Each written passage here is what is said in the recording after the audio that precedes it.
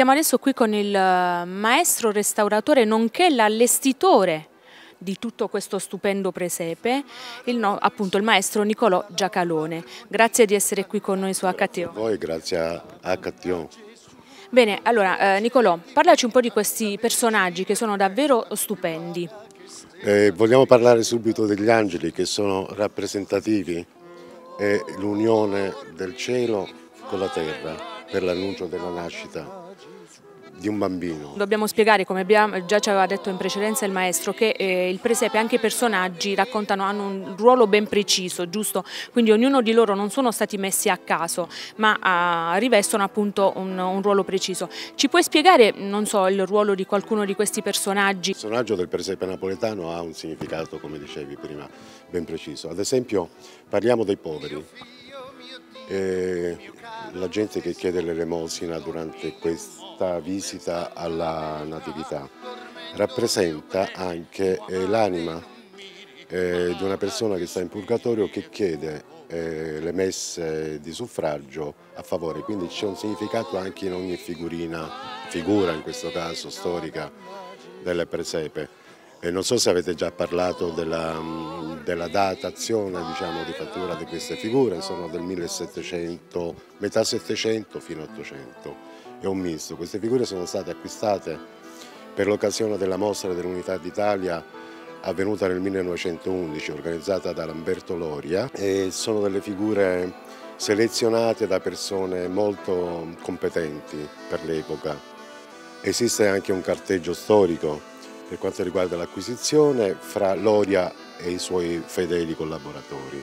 Quindi hanno diciamo, una preziosità, a parte la bellezza che si può ammirare fisicamente, sono preziosi anche per, questa, eh, per questo sudare l'acquisizione, se possiamo dire. Cioè c'è una sofferenza di, di prezzo, di tirare il prezzo, comunque ci sono alcune figure che nel 1909, in preparazione a questa mostra del 1911, costarono 3.500 lire, quindi vi lascio immaginare l'enorme sforzo di spesa per l'epoca, per questa grandissima mostra. Parlavamo appunto dell'ancora, io mi vorrei soffermare ancora sull'importanza appunto che hanno questi personaggi, quindi hai parlato adesso dei poveri chiedono suffragio. Sì, tant'è vero che sono stati collocati non casualmente ma volutamente sotto il gruppo eh, degli angeli, quindi c'è un'unione cielo-terra, grazie sempre a questa nascita. Questi due personaggi, ad esempio, che io indico con la mano, alcuni studiosi li hanno individuati come due ebrei dalla capigliatura dai boccoli. Questi personaggi sono stati esposti in diversi, in diversi musei eh, all'estero, siamo stati a San Pietroburgo qualche anno fa, a Torino alla Reggia di Venaria. E due anni fa siamo stati anche ospiti del Quirinale, la mostra è stata inaugurata direttamente dal Presidente della Repubblica e quindi abbiamo messo dei personaggi selezionati molto più rappresentativi, sia come valore storico, valore di simbolo, valore di insieme della, del presepe. Ci siamo spostati in uh, un'altra parte del presepe per parlare adesso, uh, quello che mi hanno colpito sono questi personaggi, no? questa famiglia molto particolare, anche uh, vestita in un modo particolare. Dici un po' qualcosa. Questo è un gruppo di personaggi in terracotta, legno, occhi in vetro. Eh, datazione dovrebbe essere 1745-50 credo. Raffigura una famiglia povera, la, il, fra le gambe, non so se si vede bene, comunque si vede bene, fra le gambe della mamma c'è un bambino che prende di nascosto, che ha rubato forse un pozzo di pane alla sorella che piange per la fame che ha. Chiaramente anche questo gruppo raffigura sempre l'anima del purgatorio che chiede più eh, messe di suffragio per la redenzione, per la salvezza. Da questo gruppo passiamo per esempio invece a quest'altra che è di dimensioni maggiore, questa è una figura mm, datata e firmata perché le figure sono firmate abitualmente o nella pettiglia, quindi nel davanti del petto, o alle spalle o all'interno della testa modellata in terracotta. Questa figura ha la testa in terracotta, appunto gli occhi in vetro, le mani e i piedi sono in legno. I vestiti sono tutti originali, di, tutti, di tutte le figure esposte, restaurate per la conservazione, eccetera. Restaurate, restaurate da te naturalmente? Sì, moltissime le ho restaurate io negli anni, penso di aver fatto un lavoro di circa 12 anni per raggiungere un numero di figure utili poi per l'esposizione delle varie mostre nel mondo. Cosa si prova a mm, prendere in mano, a toccare questi personaggi, anche perché non possiamo toccarli noi, cioè tu hai l'onore e il privilegio di poterli prendere, toccare, lavorarci? Diciamo che è una grossa responsabilità perché comunque si, si toccano oggetti che, non, che, sono di proprietà dello Stato, quindi oggetti che saranno visti fra 50, fra 100, fra 200 anni. Quindi il lavoro del restauratore non è intervenire per far vedere che bravo, come, come, è successo fino agli anni 60 in cui alcuni restauratori dipingevano sopra e facevano cose nuove e belle.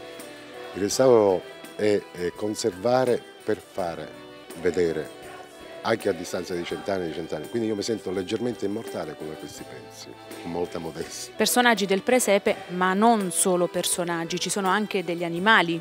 Parlaci un po' di questi animali. Gli animali, degli accessori. Il presepe è composto di tanti piccoli particolari, come avrà detto sicuramente il maestro Maceriello. È una rappresentazione scenica di una cosa che è successa, riprodotta con fantasia. Eh, guardate i particolari di alcuni animali, alcuni sono firmati, perché nel presepe, nel mondo preseparo, c'era l'autore delle figure, l'autore degli animali, l'autore degli angeli, l'autore dei puttini, ognuno era specialista diciamo, nel realizzare un personaggio particolare. Prendo in esclusiva per HTO una figura eh, di un animale per far ammirare proprio ancora più da vicino la particolarità della proprio la, la, la quasi chiamata leziosità, ma per me no, è proprio un gioco di, di prestigio dell'autore del 1700, che adesso comunque ringraziamo per averci lasciato queste figure eccezionali. Prendo questo. dovete osservare eh, gli occhi, l'espressione, la posizione e la patina. Questa ha avuto pochissimi interventi, comunque sempre eh, nel rispetto dell'opera, non ci sono mai interventi invasivi. La rimetto delicatamente nel presepe.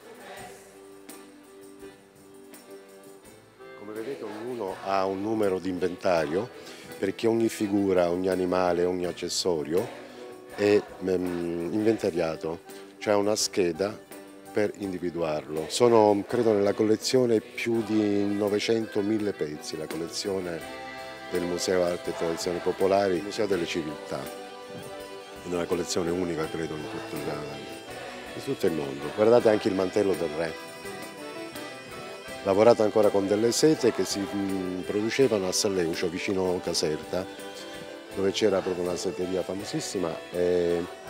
Queste sono originalissime con i ricami fatti a mano di pagliette, di, di, di fili di argento, fili di oro, sono delle cose eccezionali. Queste per toccarli dovrei avere il guanto che non vi posso fare nemmeno. Per trasferirci poi alla, alla parte del convivio, dovrei parlare solo delle figure ma vorrei fare i complimenti perché è sempre un piacere, non dovrei farli perché il maestro non ha bisogno di avere complimenti, però è un piacere collaborare con Maciariello perché cura i particolari delle colonne. Queste scenografie sono state fatte da lui, però si sposano bene con l'antichità del personaggio, quindi valorizzano il personaggio e non prendono la scena. Poi usa dei toni di colore che invito a, ad osservare perché abitualmente uno non osserva questi particolari e anche come invecchia i mattoni, cioè rispetta uh, l'importanza delle figure. Lì c'è un gruppo di persone che mangiano, come vedete c'è la torta, ci sono gli spaghetti, questi sono tutti accessori, alcuni sono antichi, altri moderni. Questi accessori sono frutto della ricerca sempre del maestro Maciarello che ringrazio di avere pazienza quando creiamo un presepe. Questa è una parte diciamo, dello, del presepe libero, giusto? Quindi non, è, eh, non rispecchia i canoni, Questo giusto o no? Canoni. Diciamo, il presepe canonico napoletano dovrebbe rispettare tre canoni.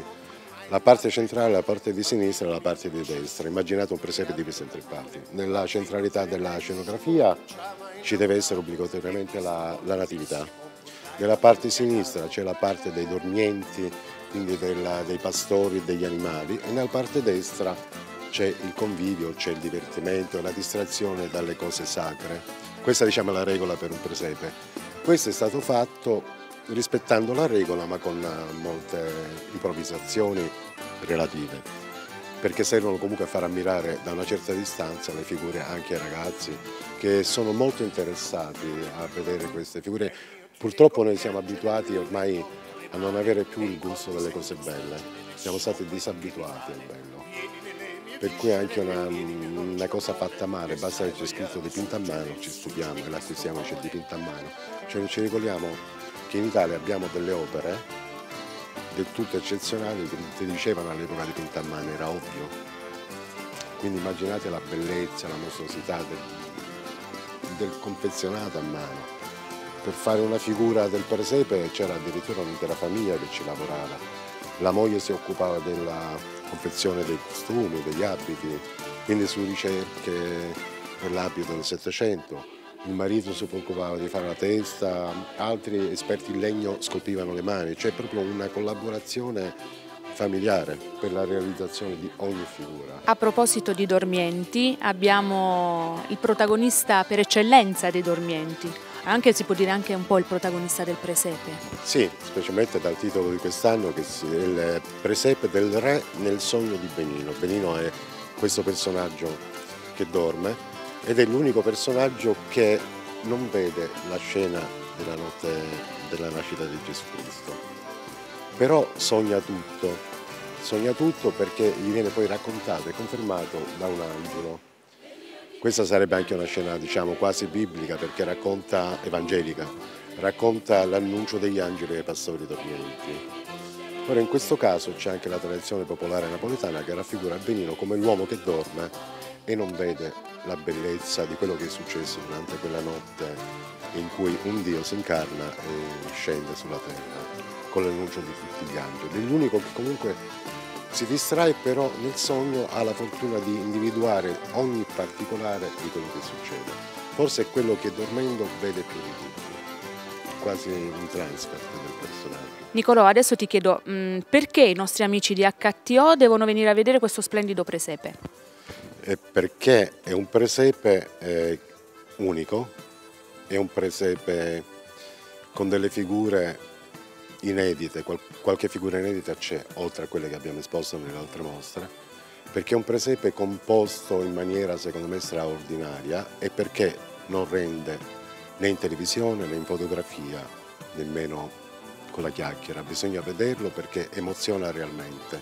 Dentro questo salone delle colonne di questo museo c'è un'emozione particolare dalle persone che credono e dalle persone che non credono è comunque una realizzazione di una scena che rappresenta una bella tradizione italiana da continuare a mantenere per i nostri figli, per i nostri nipoti e per la gente che verrà anche fra cent'anni. Vi aspetto a Roma all'Euro presso il Museo delle Civiltà fino al 31 marzo per vedere questo meraviglioso, unico, grande presepe eh, napoletano del Settecento. Non vedrete soltanto il presepe perché il presepe è abbracciato da questa bellissima mostra con delle figure selezionate del 1800 eh, di fattura siciliana e napoletana. Per cui vi aspetto numerosi al Museo delle Civiltà, Piazza Marconi 8, Roma. È nato senza oli e senza panni, scaldato da non pove e nasinello.